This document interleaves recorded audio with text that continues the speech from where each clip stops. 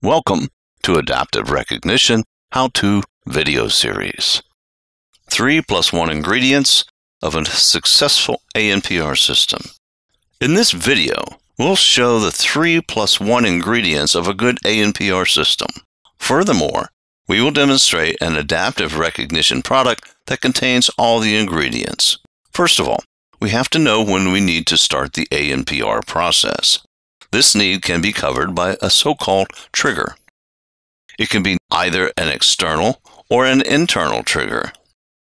As the trigger sends a signal, the system knows that it is time to take images for ANPR processing. This ensures that we can use the system resources at an optimum level.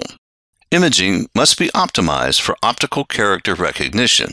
We need proper contrast and resolution, as well as good sharpness and complete images. If it is legible for the human eye, it will most probably be legible for Adaptive Recognition's ANPR engine called Carmen as well. Now we have the ANPR ready image.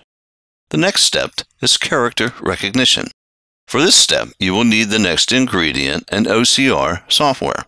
Adaptive Recognition's Carmen ANPR software has been working with license plates in over 150 countries with high reliability and accuracy. After the number plate is recognized, we have ready to use data. The last ingredient is the data transfer.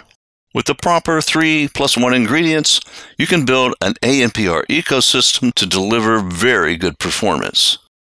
We promise to show you a product which covers all the 3 plus 1 ingredients of an ANPR system. Adaptive Recognition SmartCam can manage an external trigger and has its own internal solution. Adaptive Recognition SmartCam provides a world-class quality ANPR image. Unlike other ANPR cameras, we deliver all of our tolling and access control ANPR cameras with adjustable optics. This makes sure that you can freely set up and adjust your camera remotely. Adaptive Recognition SmartCam has its own onboard ANPR module that runs the world's number one OCR engine called Carmen.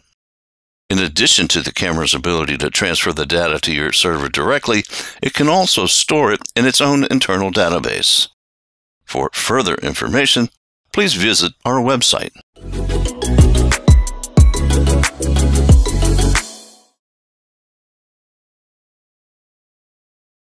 Thanks for watching. For more videos, check our channel and don't forget to subscribe.